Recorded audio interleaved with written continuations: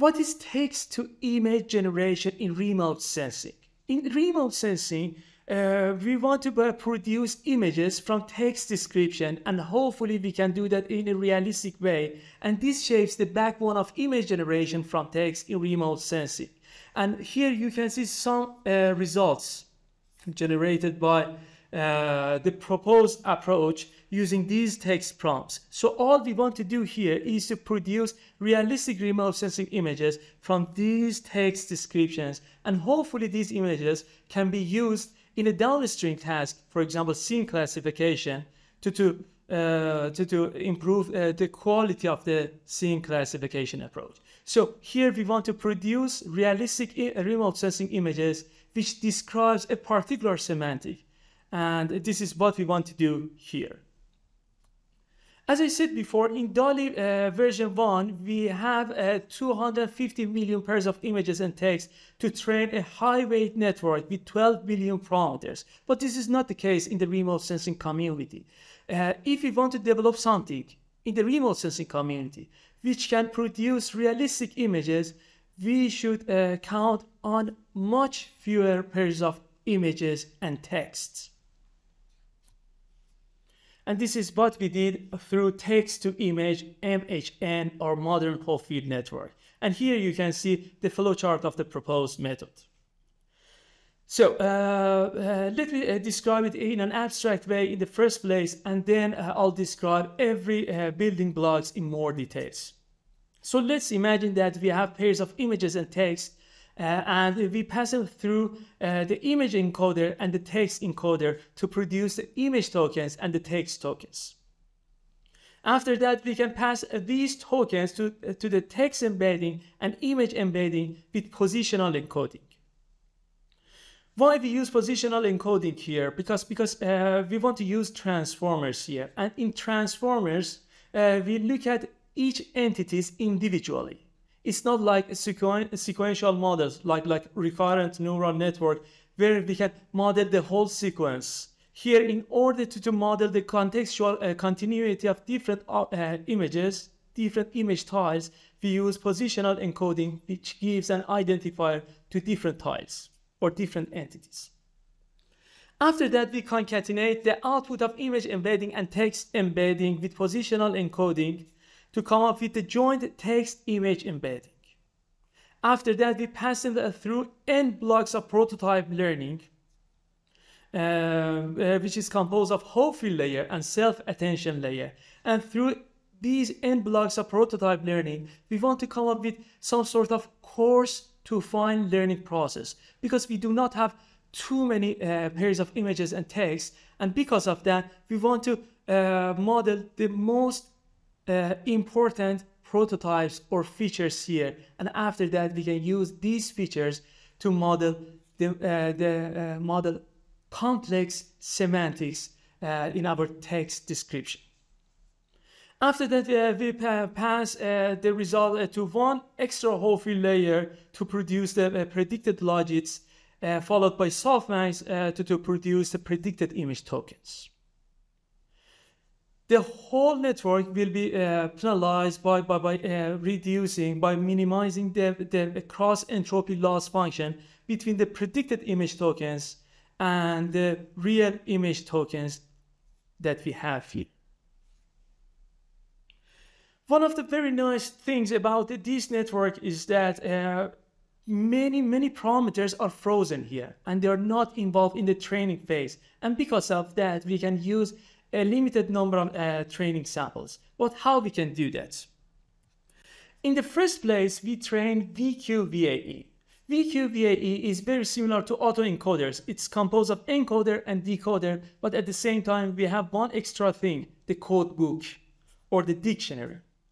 So uh, we take the input image, we pass it through the encoder to pr produce the encoded features. After that, uh, uh, we map each entity in the encoded features to one of the points in the code book, and with that we can uh, produce a, uh, code book indexes. These uh, can be used as the input. Uh, to, so after that, the codebook indexes together with the encoded features can be used to produce the image embedding. After that, we feed the image embedding to the decoder to reconstruct the input image. And the whole network uh, will be penalized by uh, minimizing the reconstruction loss, as you can see here. This is actually one of the ways. Another way is to add two more terms to this uh, uh, reconstruction loss to bring the encoded features and the codebook closer to each other. And in this way, we can involve the codebook in the training step. As soon as we train this network, we freeze uh, the, the, the, parameters here, and we use uh, these parameters as they are in the uh, um, encoder and decoder parts of the proposed method.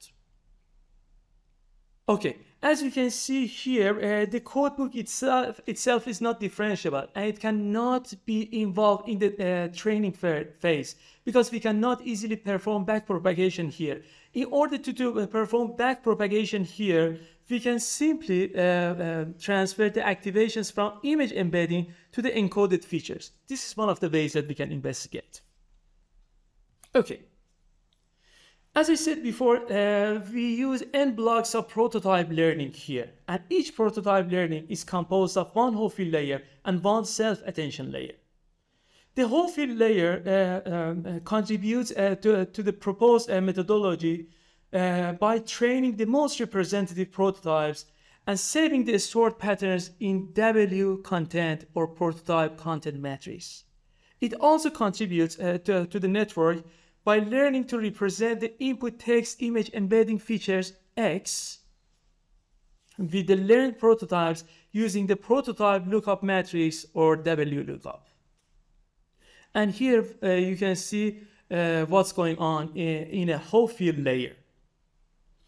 So here we have two trainable matrices, W lookup and W contents. And here you can see the sizes as well. A number of prototypes is a hyperparameter uh, which is uh, set in the first place by the user.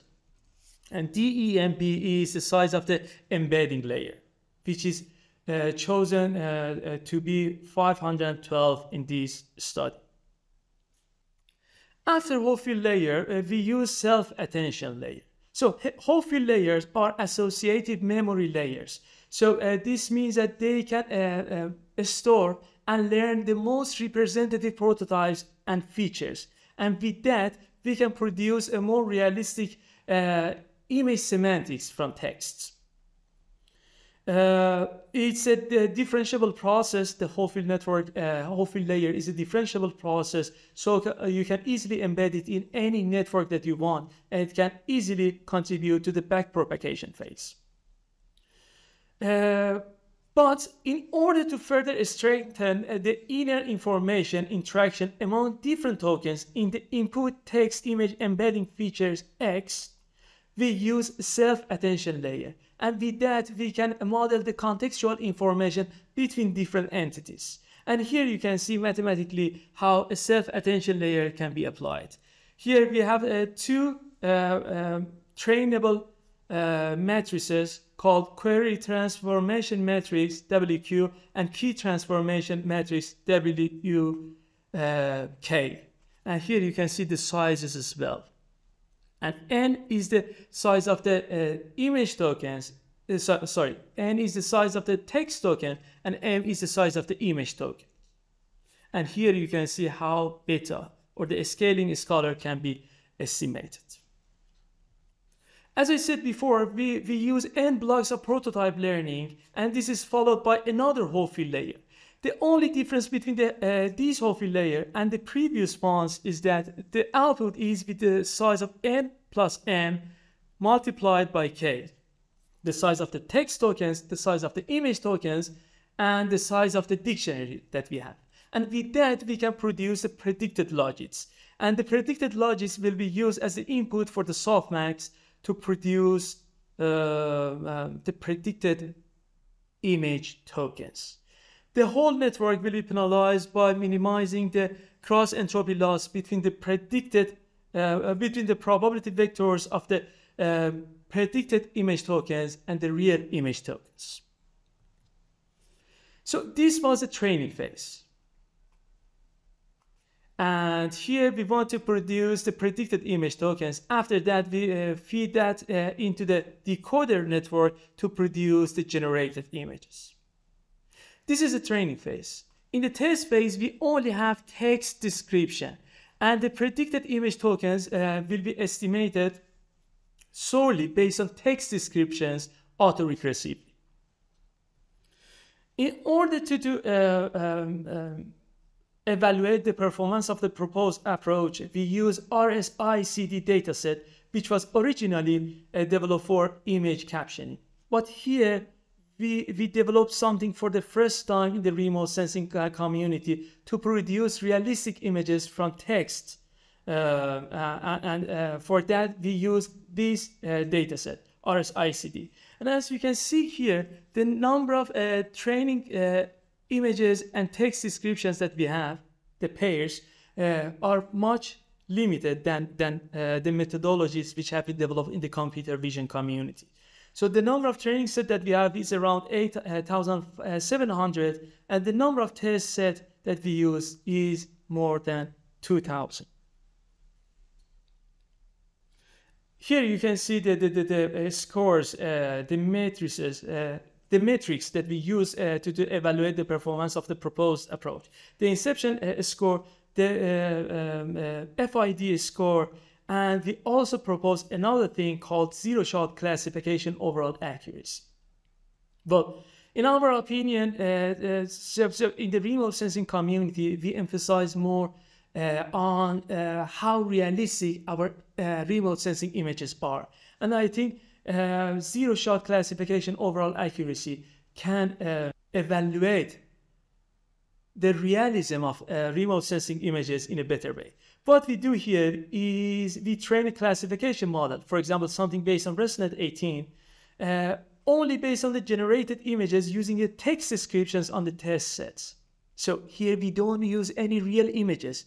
We simply get uh, the text description from the test set, we produce uh, images, and then we use those images to train a classifier, uh, something like uh, ResNet 18, for example.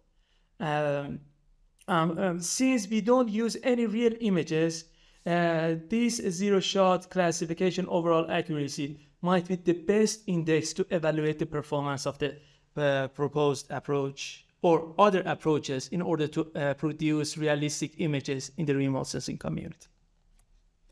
And here you can see a list of uh, approaches that we use uh, to compare our approach against.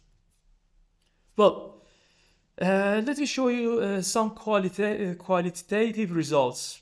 Here you can see the input image and here you can see the result uh, or, or the images reconstructed by VQ-VAE and VQ-GAN.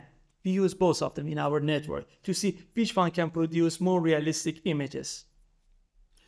So uh, VQ-GAN uh, provide more details, more special details. And um, from this point of view, it can outperform VQ-VAE. But one issue with uh, VQ-GAN is that it can hallucinate and uh, produce uh, some fake objects. For example, here you can see the uh, water tanks, uh, which are uh, circular. but when we use a VQ-GAN, the, the shapes are reconstructed in a rectangular way. So although it provides more details, somehow it hallucinates the shape of different objects. And here you can see the result of different approaches. Text to image MHN using VQ-VAE and VQ-GAN are uh, from the uh, proposed approaches. And here you can see the real images. And here you can see the result of other uh, approaches like uh, DALL-E and others. So here we use the text description to produce images here. And here you can see some examples, some more examples here. Look at this stadium here and look how other approaches um, work for this particular uh, text description. Here you can see some quantitative results And uh, uh, uh, while GAN-based approaches can outperform the transformer-based approaches uh, in terms of inception score and FID score, as I said before, in the remote sensing uh, applications, we emphasize more on the realism of the uh, produced images. And maybe zero-shot classification overall accuracy can, can comment on how realistic the, the, the generated images are in a better way. And as you can see, the proposed method can achieve the highest zero-shot classification overall accuracy. Here you can see the, the result of uh, some ablation studies. For example, one of the key components of the proposed method is the prototype learning. Uh -huh. So, uh, and the prototype learning is composed of two layers, the Hopfield layer and the self-attention layer, uh, with this particular order that you can see in order to see if, uh, if uh, we really need the prototype learning block and if we should use field layer in the first place and then self-attention layer, uh, we use this ablation study. And as you can see, uh, um, the prototype learning uh, block can help us to get much better results in terms of zero-shot classification overall accuracy and uh, the order that we should we should use in the prototype learning should be uh, first Hopfield layer followed by self-attention layer. And here you can uh, see some ablation studies about the number of prototypes that we use here, uh, the size of the embedding layers, and the number of uh, blocks that we use here. And here you can see uh, some visualizations from the last 20 tokens, uh, from, from the first 20 tokens produced by the last a whole layer. Uh, here, in this very slide, you can find uh, the, the, the, associated codes. And as I said before, this work has been uh, accepted by IEEE transactions on image processing. And um, check this um, um, website uh, for, for, for the arXiv paper and, and, the code as well. Well, uh, this was uh, the end of the first example. And in the next couple of slides, I'm to discuss change captioning or the second example.